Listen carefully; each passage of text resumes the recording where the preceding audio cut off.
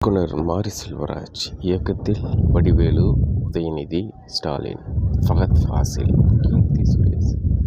லால் உள்ளிட்ட பலர் நடிப்பில் ஏ ஆர் ரஹ்மான் இசையில் தேனி ஈஸ்வர் ஒளிப்பதிவில் உருவாகியுள்ள மாமன்னன் மண்ணை கவியதா இல்லை மண்ணை ஆண்டதா என இந்த விமர்சனத்தில் பார்ப்போம். வணக்கம் நான் கலைச்செல்வன். இது கதை ஃபார் யூ சினிமா ஒரு காட்சி மொழி. அதை தெளிவாக உணர்ந்தவர் மாரி செல்வராஜ். எனவே பெரும்பாலான காட்சிகள் வசனங்கள் இன்றி காட்சிகள் வழியாகவே கடத்தப்படுகிறது. திரைப்படம் தொடங்கும் போதே வேட்டை நாய்களும் பன்றி கூட்டமும் குறியீடாக மாறி மாறி காட்டப்படுகிறது. பன்றிகள் வளர்க்கும் கதாநாயகனுக்கும் வேட்டை நாய்களை வளர்க்கும் வில்லனுக்குமான அரசியல் அதிகாரச் சண்டையே இந்த படம். இங்கு பன்றிகள் யார் வேட்டை நாய்கள் யார் என்பதை நீங்களே புரிந்து கொள்ளுங்கள். வெறிகொண்டு ஓடும் நாய்கள் மனித மனிதத்தின் வக்கிரங்களையும் அதற்கு பலியாகும் பன்றி கூட்டங்கள் இயலாமையும் காட்சிப்படுத்துகிறது. இது போன்ற மெட்டோஃபோர் எனப்படும் உருவக காட்சிகள் படம் முழுவதுமே காட்சிகளிலும் வசனங்களிலும் நிரம்பி கிடக்கின்றன.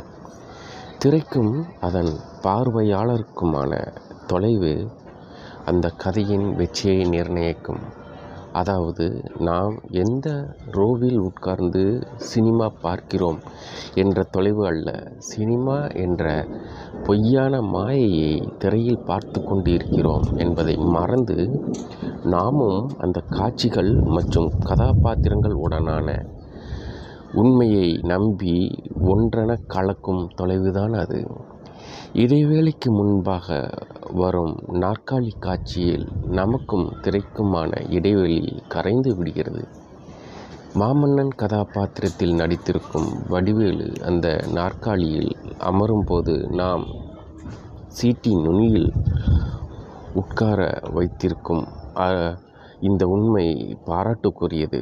இரண்டாம் பாதி தேர்தலில் மாறி மாறி அடியதடி காட்சிகள் நகரும்போது ஒருவித அயற்சியை தருகிறது. வழக்கம் போல் தேர்தலில் மாமன்னன் வெற்றி பெறுவதுதான் கிளைமேக்ஸ் என எண்ணும்போது அதை கடந்த கடைசி காட்சி நம்மை கைத்தட்ட வைக்கிறது. சேலத்தில் உள்ள காசிபுரம் எனும் தனித்தொகுதியின் சட்டமன்ற உறுப்பினர் மாமன்னன் என்ற கதாபாத்திரத்தில் வரும் வடிவேலு.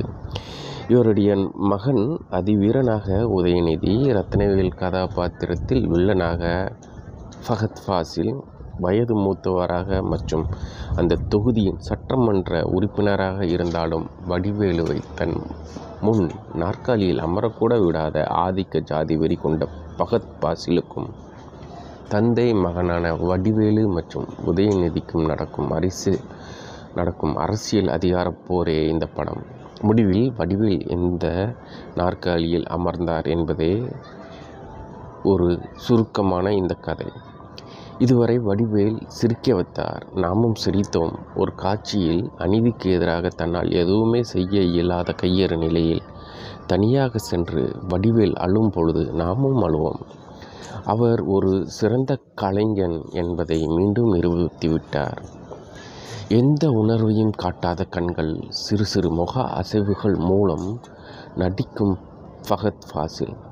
ஒல்லியான தேகத்தையும் மீறி நம்மை பயமுறுத்துகிறார். சொல்லப்போனால் உணர்ச்சி இல்லாத முகத்தை வைத்துக்கொண்டு உணர்வை கடத்துவது ஒருவித மேஜிக் இந்த இரு நடிப்பு அரக்கர்களுக்கிடையே மாட்டிக்கொண்டு இருந்தாலும் யதார்த்தம் மீறாத தனது நடிப்பை கொடுத்திருக்கிறார் உதயநிதி ஸ்டாலின்.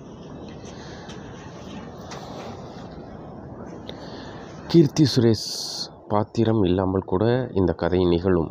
வலுக்கட்டாயமாக திணிக்கப்பட்ட இந்த கதாநாயகி பாத்திரமாக இருந்தாலும் தன் பங்கிற்கு காட்சிக்கு தேவையான பழத்தை சில இடங்களில் கூட்டுகிறார் கீர்த்தி சுரேஷ் உதயநிதி அம்மா மற்றும் சில கதாபாத்திரங்கள் தவிர மீதி அனைவரும் திரை இடத்தை நிரப்புகிறார்கள். ஏ ஆர் ரஹ்மானின் பின்னணி இசை காட்சிக்கு மெருகேற்றுகிறது குறிப்பாக நெஞ்சுமை பாடல் நம்மளை தாளாட்டுகிறது.